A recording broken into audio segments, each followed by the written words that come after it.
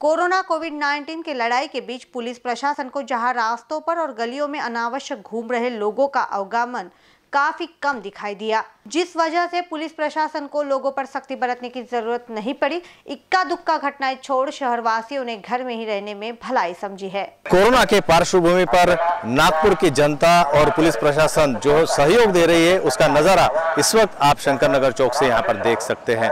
हालाँकि कल परसों तक जो स्थिति थी, वो बहुत बुरी तरह से बनी हुई थी। लोग घरों से बाहर निकल रहे थे।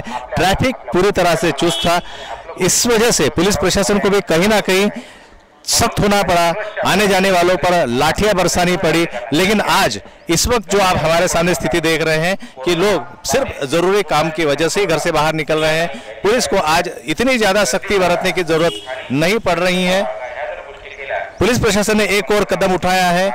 इस वक्त की पुलिस प्रशासन की ओर से जगह जगह पर पासेस बांटे जा रहे हैं। जिन नागरिकों को अत्यंत आवश्यकता हो उस आवश्यकता के अनुसार वो पुलिस स्टेशन से पासेस ले सकते हैं और अपने ज़रूरी कार्य को पूरा कर सकते हैं। उसके बावजूद अगर कोई भी नागरिक अगर अनावश्यक कार्य से अगर बाहर जाता हुआ दिखाई दे रहा तो इस तरह से पुलिस प्रशासन जो है, पूरी तरह से चुस्त, दुरुस्त है। यहाँ पर जो लोगों को रोक रहा है उन्हें आह्वान कर रहा है कि वे घर से बाहर ना निकले।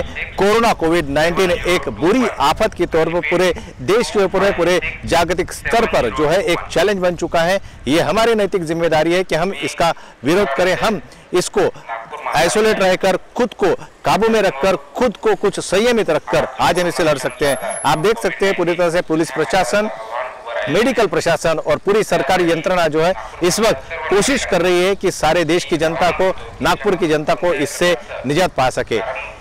कैमरा पर्सन मोहर के साथ में रत्नाकर मलिक इन न्यूज़ के लिए।